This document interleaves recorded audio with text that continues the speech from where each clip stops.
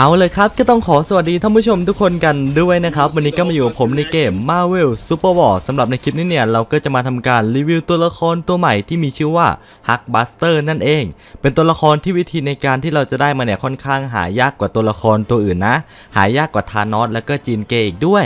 สำหรับวิธีการที่เราจะได้รับเจ้าตัวละคร Hulk Buster นะครับก็ให้เราเข้าไปที่คำว่าร้านค้า ร้านค้าสะสมนะครับกล่องสมบัติแห่งแสงนะ ตัวละครฮักบัสเตอร์เนี่ยจะสามารถแลกได้ที่นี่นะครับโดยการที่เราเนี่ยทำการเติมเงิน แล้วก็สุ่มนะครับผมจนได้คริสตัลอันนี้มานะคริสตัลแห่งแสง แล้วก็ทำการนำคริสตัลแห่งแสงนะครับไปแลกตัวละครฮักบัสเตอร์นั่นเอง ทีนี้เราก็กลับมาที่ตัวละครฮักบัสเตอร์กันนะครับผมในคลิปนี้เนี่ยผมก็จะมาทำการรีวิวสกิลตัวละครตัวนี้นะครับผมว่ามันมีความสามารถอะไรกันบ้าง ก่อนอื่นก็จะเหมือนเดิมเลยนะครับผมก่อนที่เราจะไปทำการดูสกิลเนี่ยเดี๋ยวเรามาดูท่าทางตัวละครกันก่อนว่าเป็นประมาณไหน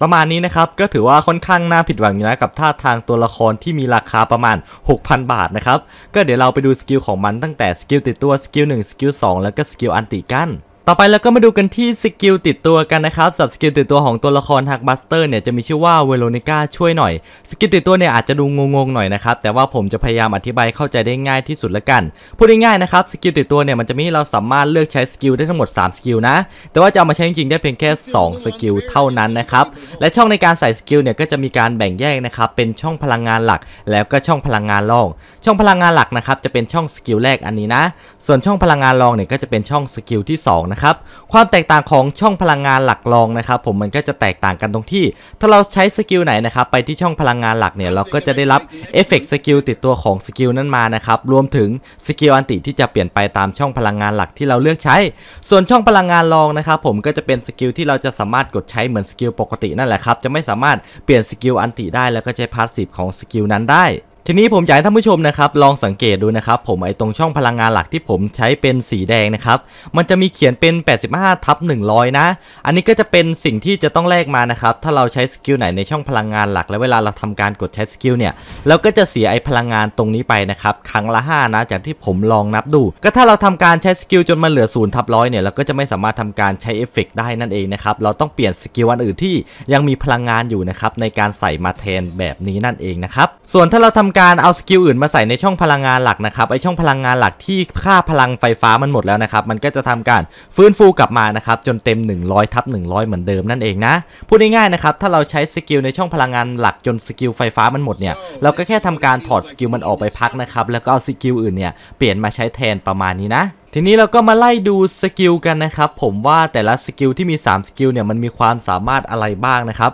ผมจะเริ่มที่สกิลสีแดงอันนี้ก่อนเลยแล้วกันนะครับ ถ้าเรามาใส่ในช่องพลังงานหลักเนี่ย มันจะมีความสามารถนะครับผมติดตัวนะครับทุก ๆ 10 วินาทีเนี่ยมันจะทำการอัปเกรดการโจมตีทั่วไปนะครับเป็นการโจมตีแบบพิเศษนะครับจะทำการยิงนะครับผมอาร์คเลเซอร์นะครับใส่ศัตรูแบบนี้นั่นเองนะครับหลังจากยิงไปแล้วเนี่ยก็จะได้รับโล่ดูดซับความเสียหาย 7%ของค่า Max HP สูงสุด ส่วนเวลาเรากดใช้นะครับตัวละครฮักเนี่ยก็จะทำการทุบพื้นนั่นเองนะ ส่วนถ้าเราสกิลนี้เนี่ยไปไว้ในช่อง2นะครับก็จะไม่ได้ความสามารถทุกๆ 10วินะครับยิงเลเซอร์นะ จะสามารถใช้ได้เพียงแค่การกดใช้ต่อยธรรมดาเท่านั้น ต่อไปก็มาในส่วนของสีฟ้ากันบ้างนะครับสำหรับความสามารถของสีฟ้าเนี่ยก็จะเหมือนกับสีแดงเลยนะครับ ตรงที่ทุกๆ 10 วิเนี่ยจะทำการอัปเกรดการโจมตีทั่วไปนะครับแต่ว่าของสีฟ้าเนี่ยจะเป็นการทุบพื้นสร้างดาเมจแบบ LE นั่นเองนะ ส่วนทางด้านการกดใช้นะครับก็จะเป็นการยกโล่ขึ้นมาลด damage 50%จากทิศทางที่มาโจมตีโล่นั่นเองนะครับนาน 2 วินาที แล้วก็จะเพิ่ม speed นะครับ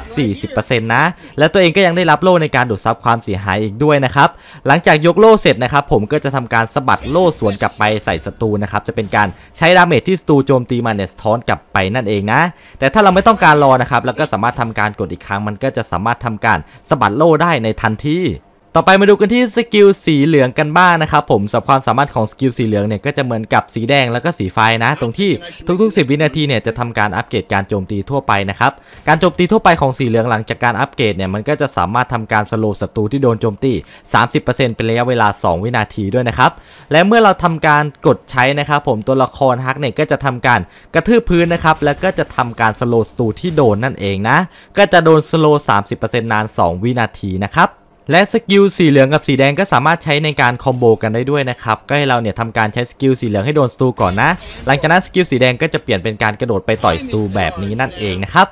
ทีนี้เราก็มาดูกันที่สกิล ulti นะครับ ถ้าเราเลือกพลังงานหลักเป็นสกิลสีแดงเนี่ย สกิล ulti ก็จะมีความสามารถตามนี้เลยนะครับ จะทำการพุ่งชนศัตรูนะครับผม สร้าง damage กายภาพ และเมื่อทำการลงสู่พื้นนะครับ ตัวละครฮัคบัสเตอร์เนี่ย ก็จะได้รับ buff ในการเพิ่ม speed นะครับผม 25%นาน 3 วินาทีนะ พร้อมกับทิ้งนะครับผมไฟนะครับที่พื้นเอาไว้นะ นาน 3 วินาทีนะครับจะทำการสร้าง damage เวทนะครับใส่ศัตรูที่ยืนอยู่บนไฟ ต่อไปก็จะเป็น ulti ของสกิลสีฟ้านะครับถ้าเราเลือกใช้สกิลสีฟ้าเป็นสกิลหลักเวลาเรา ulti เนี่ยก็จะสร้าง damage กายภาพนะครับตอนลงมาโดนศัตรูนะ และหลังจากสร้าง damage เสร็จแล้วเนี่ยก็จะทำการสร้างโล่นะครับผมให้แก่ตัวเองแล้วก็พันธมิตรนะครับเป็นระยะเวลา 5 วินาที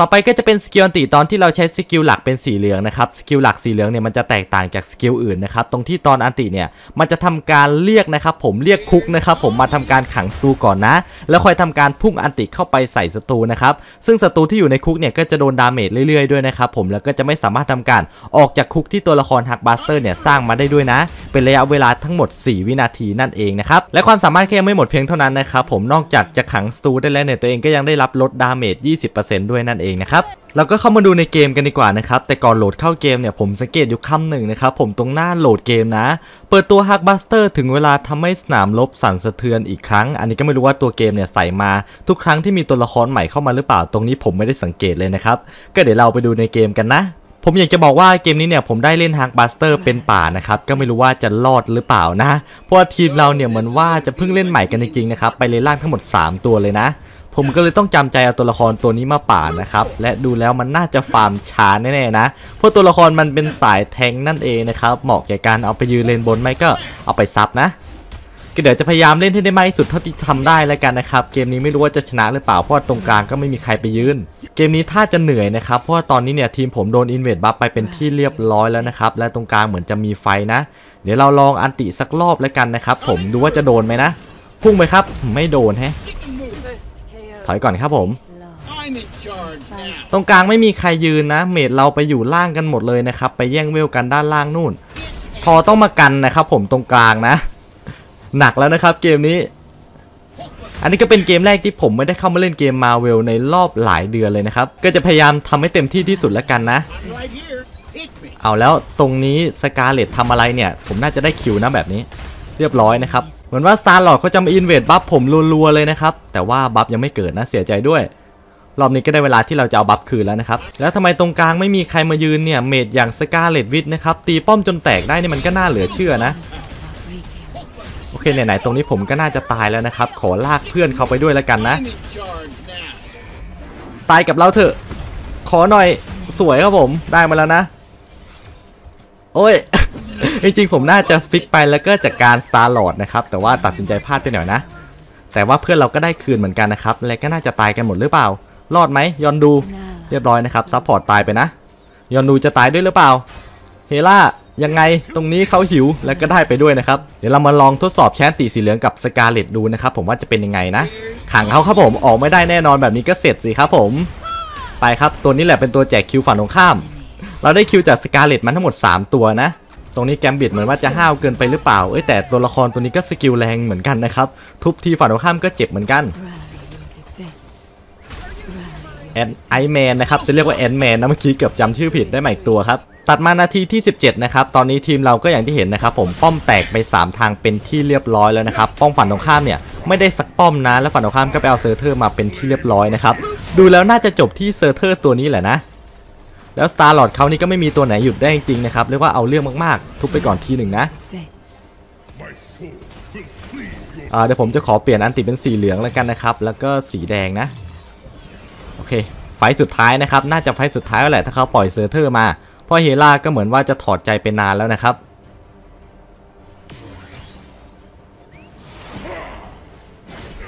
ทุบไปเซอร์เทอร์มาหน้าบ้านแล้วนะครับ ตรงนี้ผมต้องเล็ง ulti ดีๆนะ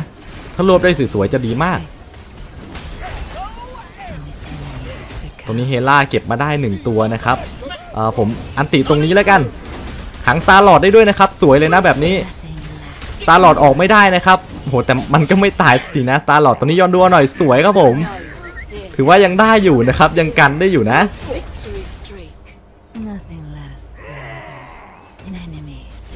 เอาแล้วฝั่งตรงข้ามตาย4นะครับแต่ก็น่าจะดันขึ้นไม่ได้อยู่ดีนะ และสุดท้ายก็ต้านไม่ไหวนะครับผมจบไปที่ความพ่ายแพ้นะ ส่วนคนที่เป็น MVP ผู้แพ้เนี่ยก็เป็นผมนั่นเองนะครับฆ่า 9 ตาย 2 และ assist ไป 5 ก็ถ้าดูจากสกอร์ kill 19 20 เนี่ยเหมือนจะไม่ห่างมากนะครับ แต่ว่ารูปเกมจริงๆเนี่ยคือห่างกันเยอะเลยนั่นเอง ก็เป็นว่าคลิปในการรีวิวตัวละครฮัคบัสเตอร์ก็จะเป็นประมาณนี้แล้วกันนะครับ ก็สรุปนะครับตัวละครตัวนี้เนี่ยเอาไปเล่นเลนบนกับซัพผมคิดว่าน่าจะเวิร์กกว่าป่านะ คือป่าก็เล่นได้นะครับ แต่ว่าเราต้องมีทีมที่รู้ใจนิดหนึ่งถ้าเจอทีมแบบผมที่ไม่มีคนยืนเลนกลางเนี่ยก็จะหนักหน่อยนะครับหนักแบบในคลิปนี้นั่นเองนะเอาเป็นว่าคลิปนี้ก็จะเป็นประมาณนี้แล้วกันนะครับไว้เรามาเจอกันใหม่ในคลิปหน้าคลิปนี้ก็บายบายนะครับ